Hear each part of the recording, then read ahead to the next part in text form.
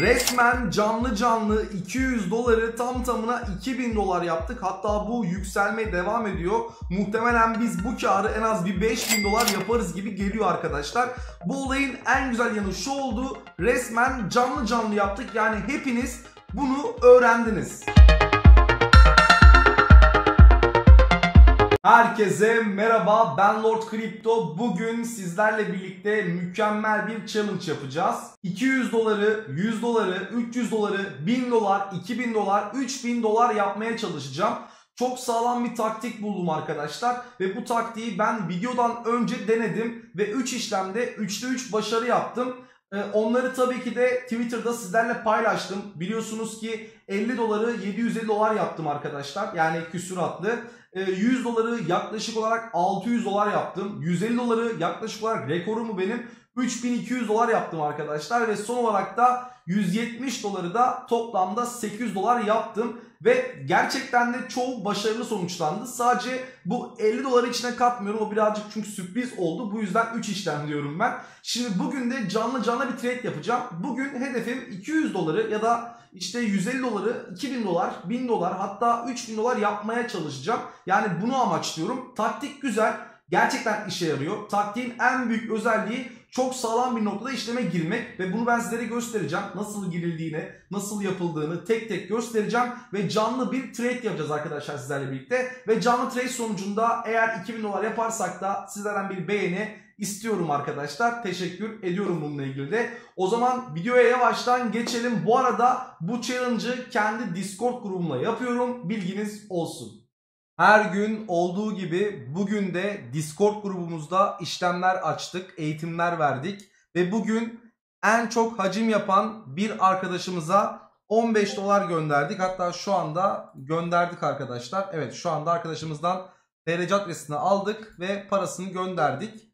Her gün bu saatlerde işlemler giriyoruz ve çok güzel karlar elde ediyoruz. Yani yayının sonunda da içimizden gelen bir şey. Ee, en yüksek hacim yapan bir arkadaşımıza 10 dolar veriyoruz. Yani eğlenceli oluyor, güzel oluyor. Sizler de bu Discord grubuna gelebilirsiniz bu arada. Buyurun gelin. Hem eğitim veriyorum hem de burada hep beraber işlemler giriyoruz. Sizler de bu Lord Crypto Trade topluluğuna katılabilirsiniz. Sizler de Discord grubuma gelmek istiyorsanız tek yapmanız gereken şu anda videomun hemen altında katıl butonu bulunmakta. Buradaki katıl butonuna basıyorsunuz. Burada kaldıraçlı işlem VIP grup yazıyor. Buradan katıl üyeliğini alıyorsunuz. Katıl üyeliği aldıktan sonra açıklama kısmında Bitget kayıt linkim bulunmakta. Buradaki kayıt linkinden Bitget'e kayıt oluyorsunuz ve KYC onaylıyorsunuz. Zaten katıl özelliğini aldığında direkt olarak Discord grubuna geçiş yapıyor arkadaşlar. Size direkt olarak Discord grubuna yönlendiriyor. Onu yönlendirmedi. Bazen yönlendirmeyebiliyor. Tek yapmanız gereken şey şu. Videomun hemen altında gene sabitlenmiş yorumda Telegram linkim bulunmakta. Bu linke tıklıyorsun. Telegram'a geliyorsun. Sabitlenmiş mesajda Lord Trade topluluğu Discord grubu için Lord Batıkan'a yazın diyor. Buradan Lord Batıkan'a yazarak da Discord grubuna gelebilirsin. Bazen oluyor arkadaşlar maalesef e, Discord'a direkt olarak yönlendirmiyor ama genel olarak yönlendiriyor bilginiz olsun. Birkaç tane arkadaşta gördüm ben bunu sadece. Katılı alır almaz direkt seni Discord'a yönlendiriyor. Orada senden Bitget kasa SS'i istiyor ve arkasından Discord'a girişini yapıyorsun. Bilgin olsun. Hepinizi Discord'a kesinlikle bekliyorum. Dünyanın Bırak belki biraz zor ama Türkiye'nin en büyük trade topluluğu olma yolunda adım adım ilerliyoruz. Buyurun gelin bakın hala şu anda bile yani bu mükemmel bir duygu. Şu anda bile kendi kendine herkes trade yapıyor ve herkes bana soru soruyor. Herkes birbiriyle takılıyor. Bak analiz odasına bakar mısınız? Yani grup tıkır tıkır işliyor arkadaşlar. Gelin buyurun bekliyorum sizi. Hazırsak başlıyorum arkadaşlar. Öncelikle grafiğimizi açıyorum. Şimdi olay çok basit. Öncelikle RSI'ye bakacağız. Likidasyona bakacağız. Sonra gelebilecek en maksimum noktadan long veya short açacağız arkadaşlar. Ve buradan da taktiğimizi sonuçlandıracağız. Aslında klasik bir price action hareketi ama ya talepleri daha çok takip ediyorsun. Trend takip yapıyorsun. Talep takibi yapıyorsun. Mantık bundan ibaret aslında ama gelin bir güzel de biz bunu deneyelim isterseniz. Şimdi arkadaşlar öncelikle şunu yapıyorum. Ne yapıyorum abi? E, rastgele bir Coin Glass'ı açalım. Coin Glass açmayı belki çoğunuz biliyorsunuzdur. Bununla ilgili bir video çekmeyeceğim tabii ki de. Ee, burada RSI heatmap yazıyor. Buna basıyoruz arkadaşlar. Bastıktan sonra öncelikle 4 saatlik değil onu size söyleyeyim. Ne yapıyoruz? 24 saatliğe bakıyoruz abi. 24 saatliği açtık. Burada bize Bitcoin'in bulunduğu nokta önemli arkadaşlar. Bitcoin'in bulunduğu noktaya bakacağız. Bitcoin'in bulunduğu nokta şurası. Bakın gördünüz. Bitcoin nerede? Bitcoin burada. Eğer 70 ile 80 arasındaysa Bitcoin potansiyel olarak düşme tehlikesi altında. Yani aşırı şişmiş düşme tehlikesi altında. Biz bunu kullanacağız ama nasıl kullanacağız? Bitcoin'de işlem açmayacağız ya da işte Ethereum'da işlem açmayacağız. Başka bir altcoin'de işlem açacağız ve bunu nasıl yapacağız? Şimdi Bitcoin ile birlikte diğer coinlere bakalım arkadaşlar. Ne var burada? XRP var, Sol var, Link var, TRV var, APT var. Burada bize göre en güçsüz kripto para hangisi? Bana göre en güçsüz kripto para APT arkadaşlar. Bu yüzden ben açıkçası burada APT'yi kullanmak istiyorum. Hemen ne yapıyoruz? Geliyoruz buraya. APT yazıyoruz abi buraya. APT yazıyoruz. Ve P diyoruz buradan. Burada P'den sonra da Bigget'i seçiyoruz. Seçtik, girdik içeriye. Yani burada hemen ne yapıyoruz? Günlüğü açıyoruz abi. Talep bölgesine bakıyoruz. Arkasından göstergelere Trend Lines yazıyoruz arkadaşlar. Trend Lines'ı açın. Yani boş boşuna 2 saat bu trend çizmekle uğraşmayın. Şimdi bizim için burada önemli olan şey ne arkadaşlar? Hemen şuna bakacağız. Burada en dip nokta buraya kadar gelmiş. Nereye kadar gelmiş abi bu kripto para? 3062'ye kadar düşmüş. Bayağı bir düşüş yaşamış. Sonra bu 3062'nin direnci neresi olmuş abi? 3062'nin direnci de burası olmuş. 5378 değil mi?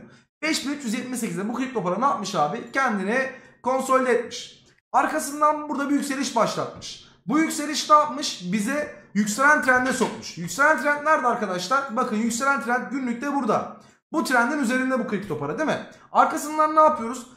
Bu kripto paranın bir önceki e, direncine bakıyoruz. Bir önceki direnci neresi abi?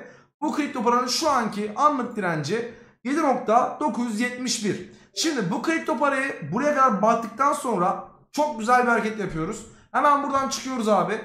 Burada arkasından likidasyon yazıyor. Haritaya bakıyoruz. Açıyoruz haritayı bakın arkadaşlar. Ve buraya geliyoruz. Ne yazıyoruz abi? Buraya APT yazıyoruz. APT yazıyoruz. Finans APT fark etmez. Bu fark etmeyen bir şey arkadaşlar. Hemen buradan 24 saati açıyoruz abi.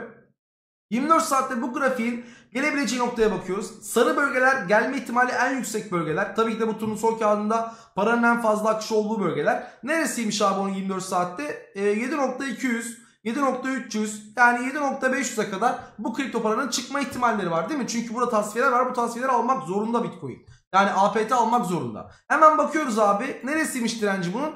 7.9'muş. O çok güzel abi. Ben bu güzel bir haber. Hemen ne yapıyoruz? Bitmedi.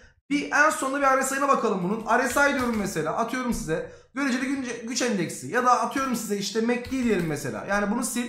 Hani MACD'yi daha çok biliyorsunuz. Bu yüzden MACD yapacağım arkadaşlar. Hemen MACD diyorum. Ya ben MACD'yi daha çok biliyorsunuz diye MACD açıyorum ben şu anda. MACD diyorum. Burada niye çıkmadı bu? Ha, hareketli ortalama yan kısmı. Bir de bu çıktı başımıza. Hemen buradan 4 saatliğimizi açıyorum mis gibi arkadaşlar. Açtık. 4 saatliğimize baktık. Şu an ne durumdayız abi? Bu kripto para e, gelebileceği en büyük yani minor direnci 7.420'ye kadar gelmiş zaten. Burada önceki direnç bakın fark ediyorsanız 7.420 7.400 buralar bunun minor direnci 7.200 bunun minor direnci. Minor dirence kadar gelmiş. Eğer eğer ki bu kripto para bunun üzerinde bir kapanış yaparsa long giriyoruz. Stop'u da biraz altına bırakıyoruz. Yüksek X giriyoruz bu arada. Yani yüksek X giriyorum bunlara. Yüksek deniyorum. Ben daha çok hoşuma gidiyor. Daha fazla kar bırakıyor. Ne yapıyorum abi? Ben bunu 20X işlem açıyorum. Benim için yüksek 20X, 30X. Çünkü ben yüksek paralarla girdiğim için ben bir stop oluyorum. 7000 dolar stop oluyorum mesela. Bu yüzden yüksek X girmeye çalışıyorum. E, bu yüzden dengelemeye çalışıyorum yani e, stopumu. Stopu da genelde %2 veya %1.5'a sabitliyorum arkadaşlar. Bakıyorum eğer ben buna 20x girersem yani %180 bir kar bırakıyor. Eğer ben buna e, stop olursam işte %120 bir zarar bırakıyor bana mesela. Hani %100'ümden oluyorsun ama burada eğer çıkarsa ki kar bırakıyor. Hemen size atomdan az önce bir örnek vermiştim zaten. Atom mesela dün girdik abi Atom'a. Atom çok da güzel bir kağıt bıraktı bize 4 saatte. Nerede bu Atom? Ha burada. Ben Atom'u göstermek istiyorum. Atom'a da aynısını yaptık. Bakın Atom 8.2'ye kadar yükselmiş arkadaşlar. Yani biz tabi burada kar aldık ama buraya kadar çıkmış. Bu atomun direnci neresiydi? Atomun major direnci 7.6 idi mesela. 7.6'ın üzerinde kapanış yaptı. Birkaç birkaç durumda baktık arkadaşlar hani yükselecek mi düşecek mi diye. Baktık yükseliyor. Burada bir kapanış yaptı. Fırlattık yukarıya. Long'umuzdan mükemmel kar elde ettik. Ve burada RSI'da mesela e, burası neydi abi durum olarak? e, RSI'de mesela satış bölgesindeydi. Ama biz long girdik ve kar aldık arkadaşlar. Hani çok basit bir hareket aslında. Gerçekten çok basit bir hareket. Mesela gelin Ethereum'a bakalım. Ethereum'a bakıyorum hemen. Mesela Ethereum'u açtık. Ne yapıyoruz Ethereum'da? Hemen günlüğe bakıyoruz abi. Günlükte şu an Ethereum nerede? Ethereum şu anda düşen trendini kırmış. Yükselen trendine doğru devam ediyor. Burası olası bir yükselen trend hedefi. Yükselen hedefine bakıyorsun. Önceki dirençlerine bakalım abi. Bu kripto para bak burada bölgelerde konsolide olmuş değil mi? Bu bölgelerde konsolide olmuş. Şurası bu kripto paranın çıkış noktası. Yani 2000 dolar bu kripto paranın çıkış noktası. Buraya kadar gelmesi için ne yapması lazım bu kripto paranın? Daha önce ne yapmış abi? Bakıyoruz. En yüksek direncimize bakıyoruz abi. Daha önce gelmesi için buranın üzerinde kalması lazımmış. Bakıyoruz kalmış mı? Evet kalmış. Bak kalmış mesela gördün mü? Ve biz şu anda Ethereum'da long'dayız. Ve ben zaten az önce Ethereum'dan long girerek kar aldım bu arada. Yani 200x long girerek kar aldım. Ve biz buradaki yükselişi yakaladık. 200x girdim. 1800'den girdik abi. Buradan yakaladık. Bu günlük tabii ki de bu 4 saatliği göstereceğim ben şimdi size. 4 saatliğe giriyoruz abi. Bakın hala yükselen trendini devam ettiriyor. Yani bu kripto paraya sen long deneyebilirsin. Ama long'u direkt deneyemezsin. Long'u deneyemezsin. Öncelikle şunu denemen lazım. 4 saatliği açtın baktın değil mi? Hala yükselen trendde mi? Evet bakıyoruz. Hala bu kripto para yükselen trendde. Major direncinin üzerinde mi? Evet bu kripto para major direncinin üzerinde. Burayı kırarsa 2000'e kadar yolu var bu kripto paranın. Bunu biliyorsun en azından değil mi? Bunu bildiğimiz için de işleme öyle giriyoruz zaten. Arkasından ne yapıyorsun? 15 dakikalık grafiği açıyorsun scalp işlem için. Buraya geliyorsun. Ne yapıyorsun? Bakıyoruz burada. Düşen trendini kırmamış. Düşen trendini kırmasını bekliyorsun mesela. Atıyorum sana. Zaten yükselen trendin üzerinde şu anda görüyorsun bak mesela yükselen trendin üzerinde şu anda. Bu kripto para için açıkçası ben 1740'ları, 1760'ları, 1780'leri beklerim. Ben bu kripto paraya long girerim. Niye? Bak şimdi burada çok tatlı bir talep bölgesi var. Bak görüyor musun talep bölgesini? Burada çok tatlı bir talep bölgesi var. Ben buradan patlatırım yüksek ikisimi. 2000 dolara kadar beni tutamaz burada. Ben hala bu arada longdayım ve hala da hatta inanmayanlar için göstereyim ben şöyle. Hani hala longdayım bu arada. E, hala bekliyorum. İşlem kapanmadığı için de ben işlemi kapatamadım. Bakın burada 2200 dolar şu anda kardayım arkadaşlar. 2200 dolar. Bu da %134 karda olduğunu gösteriyor. Talep bölgesinden girdim ben. Hala kardayım mesela. Bunun gibi e, bu işlemleri tabii de biz Discord'da yapıyoruz. Discord'da şu an çoğu arkadaşımız da hala Ethereum long'da arkadaşlar bilginiz olsun. Yani mantık çok basit. Talep bölgesini kovala, long'unu gir. Burada e, RSI'yi takip ediyorsun. Likidasyonu takip ediyorsun. Ya tabii ki de ben bunun daha ayrıntılı, daha iyi örneğini, eğitimini Discord'da veriyorum. Dileyen oraya da gelebilir bu arada. E, haberiniz olsun. Çok kolay bir mantık, kolay bir taktik. Hepinizin kullanmasını istiyorum. Yani küçük küçük paralarla sağlam karlar elde edebilirsiniz gerçekten de. Hani ben 100 dolarla bunu denerim açıkçası. Benim buradan kaybedecek bir şeyim olmaz. Senin 100 doların vardır. 10 dolarıyla işleme gir mesela. Hani senin şurada kaybedeceğin taç çatlası %30 olur mesela. %0.30 olur yani. %1 bile değil anlıyor musun? Deneyerek kendini böyle böyle karlar alabilirsin. Sadece giriş noktanı sağlam seçmen lazım. Major direncin üzerindeyse long gireceksin. Major direnci kıramadıysa orada konsolide olduysa aşağı düşme tepkisi veriyorsa short gireceksin. Bu kadar basit gerçekten de. Bunu kovalaman lazım sadece. Likidasyon haritasını bilmen lazım ve RSI gitmemi bilmen lazım. Bunları da ben dediğim gibi profesyonel bir şekilde Discord'da öğretiyorum. Oraya da gelmen lazım yani. Anlıyor musun? Oraya gelmen lazım. Başka türlü olmuyor. Ayrıca bir konu hakkında konuşmak istiyorum. Bu eğitim bu kadardı. Ee, bu konu hakkında konuşmazsam içimde kalacak çünkü. Şimdi arkadaşlar Twitter'da hiç iyi şeyler dönmüyor. Bunu baştan söyleyeyim. Niye iyi şeyler dönmüyor? Birçok fenomen inanın bana ref kasma olayı olmasa ağzı kokar parasızlıktan çaycılık yapa yapa gezerdi. Net diyorum bunu. Çünkü Twitter'da birçok fenomen trader değil. Bakın trader değil. SNC coin almışlar reklamını. İsim vermeyeceğim. VV coin almışlar reklamını. Adam reklam başı 20 bin dolar para almış. Ve bunları size ben aldım siz de alın diye pazarlıyor. Altına sponsorlu içerik yazmıyor. Bakın dostlar. Kimse sizin dostunuz değil bu platformda. Özellikle Twitter'da. Sizlere arkadaşlar kaçacak, patlayacak bir tweet şeyim var. E, yani e, sepetim var diye adamlardan uzak durun. Efendime söyleyeyim. Arkadaşlar mükemmel bir proje buldum. Bu proje çok güzel patlayacak diye adamlardan uzak durun. Engelleyin. Size proje satmaya çalışanlardan, size sepet satmaya çalışanlardan, sizlere herhangi bir olgu satmaya çalışanlardan uzak durun. Bakın bunlar yamyam. Dediğim gibi bunlarda eğer referans kasma olayı olmasa gerçek anlamda bunlar para kazanamazlar. Bunlar çok belli insanlar. Hatta ben bunlarla ilgili Twitter'da da paylaşım yaptım. Hani Baya baya insanların üzerine yüklendim. Bu dallamalar gerçekten de bitmezler. En azından siz bitirmeye çalışın. Ben hatta bunu da atarım yani. Bakın bu insanlardan uzak durun. Yani isim vermeyeceğim ama dikkat edin. Yani bu insanlar sizin paranıza göz dikiyor. Anlıyor musunuz? Referans kasmak başka bir şey. Efendime söyleyeyim reklam alıp da reklam olduğunu belirtmeyip ben bu coin'i aldım boku, bu coin'i siz de alın diyerek oradan para kasmak, reklam geliri almak başka bir şey. Namuslu olun biraz. İnsanların 3 kuruşuna 4 kuruşuna göz dikmeyin. Şerefsiz olmayın. Burada herkes ekmek yiyebilir arkadaşlar. Ama yeter ki şerefsiz olmayın. Ve ben şunu çok da güzel söyleyeceğim. Eğer herhangi bir Max etkinliğinde, Bitget etkinliğinde, Binance etkinliğinde bu kişiler benim yanıma gelirlerse, karşıma çıkarlarsa veyahut ben herhangi bir konuşmaya çıkarsam bu adamları rezil ederim.